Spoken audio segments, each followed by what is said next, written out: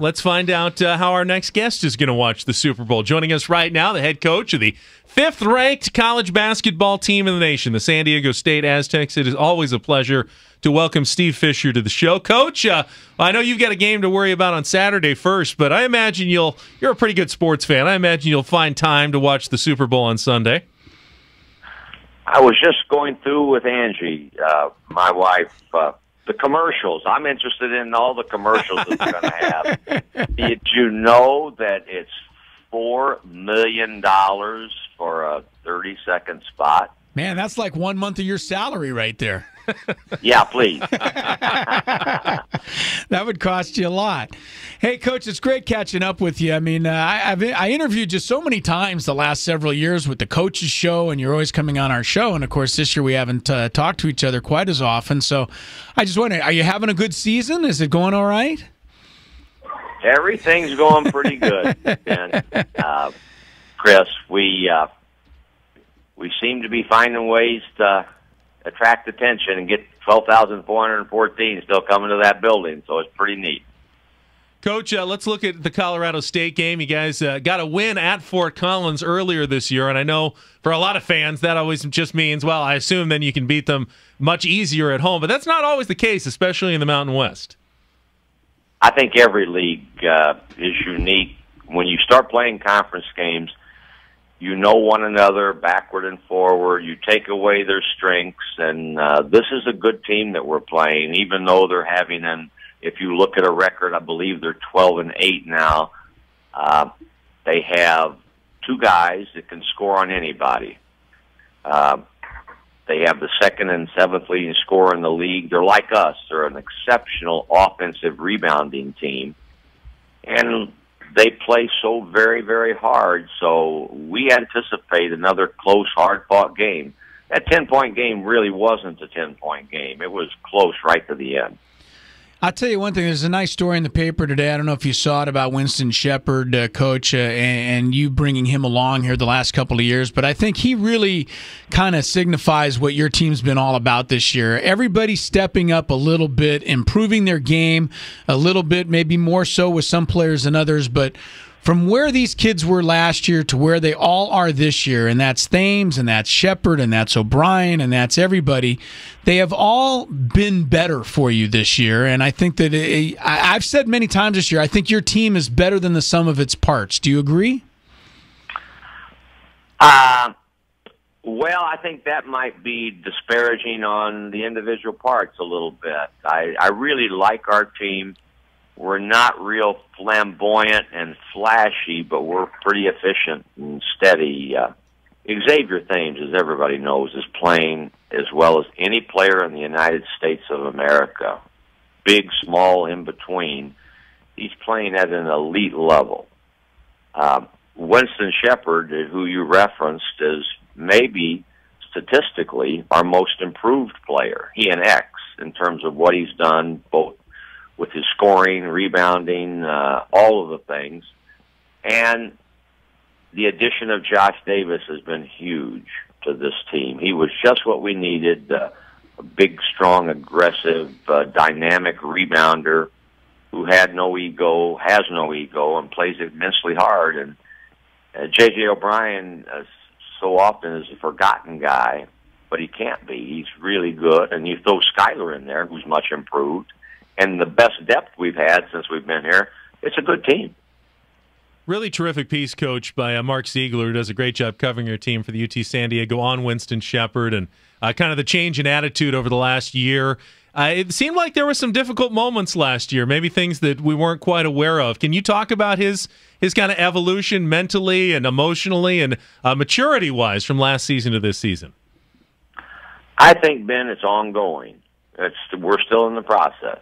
Uh, a year ago, sometimes Winston was his own worst enemy in terms of frustration and being over anxious, trying too hard, thinking about scoring a little bit too much, uh, worrying about the last play. And he's made immense strides mentally.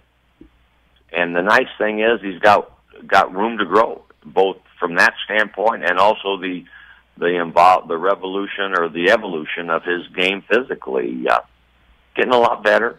and he knows it. Uh, he's able to get back on track when he has his moments, and he's been so invaluable to so valuable to the growth of this team. Uh, and that's what guys are supposed to do. They're supposed to grow, mature, uh, develop when they go away to college, whether you're an athlete or a non-athlete. And Winston is doing that as well as anybody. Coach Steve Fisher is with us. Aztecs, Colorado State coming up tomorrow, 4 o'clock at Viejas Arena. Aztecs will be shooting for their 18th consecutive win. I mean, this winning streak and the rankings going up every week, coach, and now number five in the country. It's got all of us running away with all kinds of great ideas and Sweet 16s and visions of Final Fours and things like that. How are you keeping your team and your players and this whole group in the moment right now to make sure that you have to, you know, continue taking care of business each and every week? Chris, we have embraced uh, the fact that they're talking about us and that we have gotten ranked and steadily risen up in the ranks. We talk about it. And we say this is what this is why you came here and this is what you want in order to stay here or move forward you have to do one thing continue to win. And how do you win? You come into practice every day determined to get a little bit better. Not thinking about rankings when you go on the practice floor, but saying, what do I have to do to be a better teammate? How can I get better? How can we get better collectively?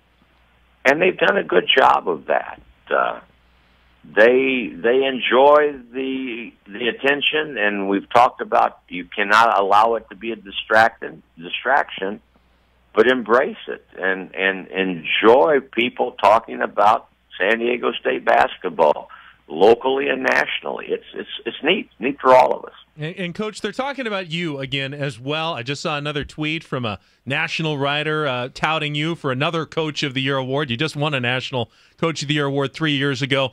And I know, coach, you cloak yourself in that Midwestern modesty, and rightfully, you give a lot of credit to your assistants and the players.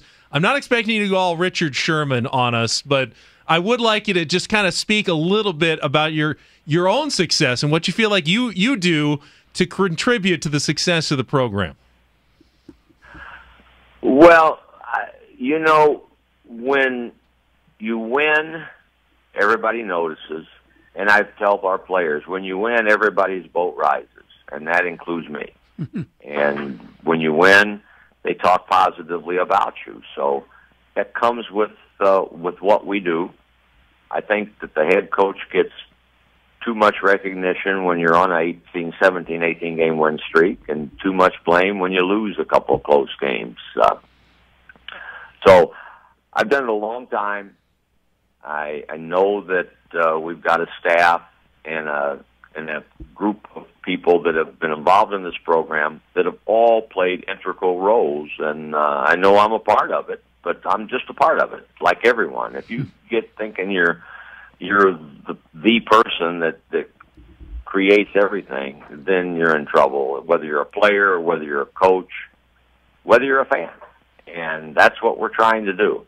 We're trying to just keep plugging along, and uh, we're hoping that we can we can win the next one, and then after the next one, we want to win the next one. And so if you, if we win, we'll all get uh, talked about. Coach, I'll tell you one thing. Uh, we thank you for everything you've done uh, as a San Diego State grad. We thank you for everything you've done, and uh, congratulations on another fantastic season you've got working right now. Thanks for joining us. It's always good catching up with you. Good luck tomorrow, and uh, we look forward to uh, chatting with you again soon. Thank you, Chris. Ben, appreciate you having me on and continued success with your show. Thanks, Thanks Coach.